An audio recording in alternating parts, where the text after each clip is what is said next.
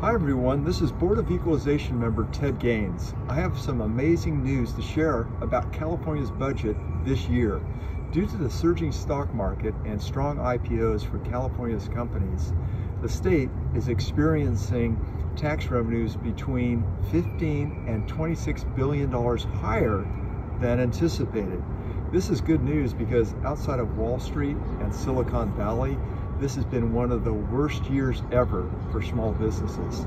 Main Street is hurting. Businesses are hanging on for dear life. As Governor Newsom releases his budget proposal this week, I hope he focuses on supercharging California's economic recovery and putting businesses in a position to rebuild, to hire back workers, and even expand as we enter a recovery.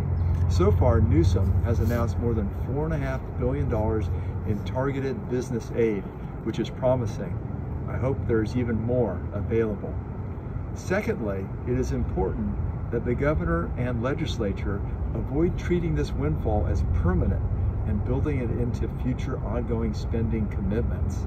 You should focus on strengthening California's reserve and on one-time programs to help people survive until the economy is back to normal. I'll have more to say about the governor's budget after it's released. Until then, this is Board of Equalization member Ted Gaines, and thank you for listening.